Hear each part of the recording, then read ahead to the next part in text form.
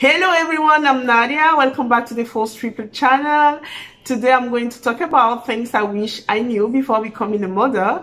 If you are a mom, I hope you'll be able to relate with few things I will talk about in this video. And if you are pregnant or you plan to have babies in the future, I hope you find this video interesting. So without wasting time, let's get into it. My first will be the labor pain.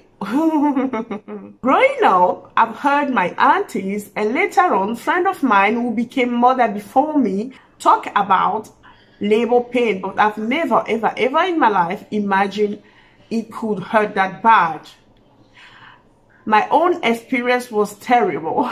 You know, I was the kind of person that was like, I will reach hospital, I will endure the labor pain, I will deliver like a new woman, nothing will happen, I will be okay, I will not take uh, this, uh, how do you call this thing?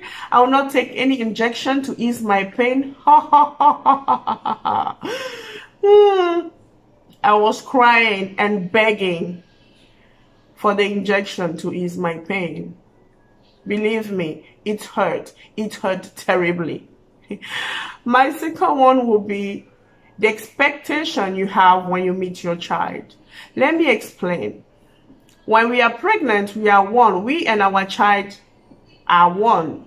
The minute we put to bed, they are a total person on their own. When I met my children, the four of them, I thought I would have this explosion of of feeling, I thought I would be like, you are the person I've been waiting for all my life and the love will be overwhelming and I will be, I will be like, yeah, I'm a mother and I hold them in my arm. I cried. I cried because uh, I was happy the whole pregnancy journey was over. But the fact still remains that when you meet your child, you are meeting a stranger. You have to learn to know them to accept them for who they are and to grow with them. While they are growing, you grow with them. So meeting your child at first is like meeting a stranger. For the relationship to work, for that bound to be there, the mother, daughter, mother, son bound to be there, you need to work on it. It's not automatic. We think it's it's normal. I'm the mom, so that bound will be there. No, the bound you create it step by step. Another one is the sleepless night. Nothing prepare you to the sleepless night. No matter how they describe the sleepless night, you need to experience it. A baby needs to eat every three hours. As a parent, you have to make sure your child have his food every three, three hours or every four, four hours. And some kids can be terrible. During the day, they sleep very well, and in the night, they, their eyes will be widely open. They'll be looking at you, and they will be expecting you to be playing with them. So, if you are a mom, you can relate. But if you are pregnant or a future mom, get ready. The sleepless nights is real. Another one is the worry.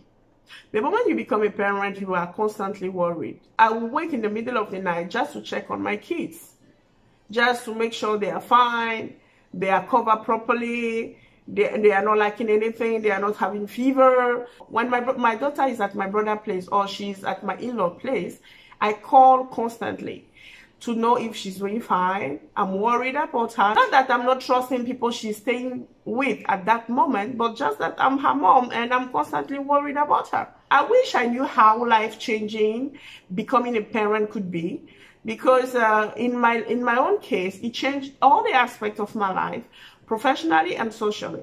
Professionally, I used to be a team coach.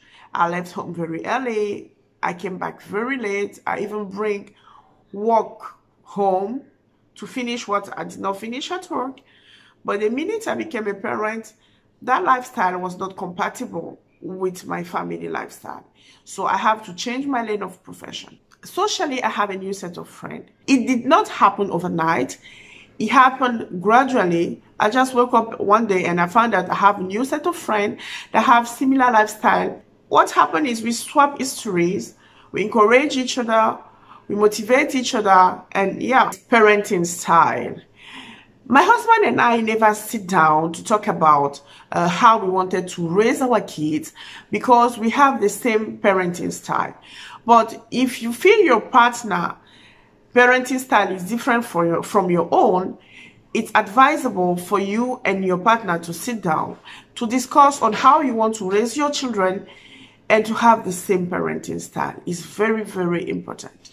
So you guys can be united in front of your kids. Division is not allowed when you are raising a child. Schedule. Having a schedule is life-saving. It doesn't matter whether you have multiple or you have a single child. You need schedule.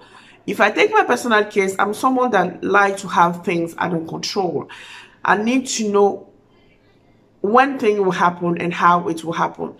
Even though you can't control everything, still you need to have a certain routine. If your kids grow up with a routine, they will stick to that routine and it will make life easier for you later on. Another thing is not having time for yourself, or at least not having time for yourself the way you used to. I remember when I was pregnant of my daughter, I was hospitalized and um, I was tired. I think I was eight months pregnant. I was heavy. I could not go anywhere. I was bored. And there was this nurse, very kind nurse, that came into my room at the hospital and she was trying to have a conversation with me and to be nice. And I was telling her, ah, I can't wait to give to put to bed. I want to go to cinema. I want to go to visit my friends. I want to travel. The nurse actually looked at me like this. Then she asked me, is it your first child? I said, yes, it's my first child. She had a very big smile and she said, I understand. But let me give you a hint. Once you put to bed, all those things you were talking about, you, you will not be able to do them at least in the first month of your child life. I didn't understand. I told her, I know it will change my life, but I'll still have time to do whatever I want to do. She looked at me and she kept smi she kept smiling because she understood no matter how she explained, I won't get it. One month after I put to bed, then then I, re I fully realized what she was trying to tell me. The message she was trying to get across me that I did not understand. When you become a mother, you have less time for yourself because there's another life that is depending on you. And everything you have to do, you need to put that child before yourself. The last thing is I didn't know how much I would fall in love with my kids. For me, my children are my all. The love I have for them is visceral. The love comes from within, very deep. And is a kind of love you cannot explain. These are a few things I wanted to share with you. Let's keep the conversation going in the comment section. I hope you enjoyed this video. If you do, give the video a thumb up, share, subscribe, tell a friend to tell another friend to be part of our family. And I will see you in my next one. Take care of yourself because by doing so, you take care of other. Stay safe and peace out.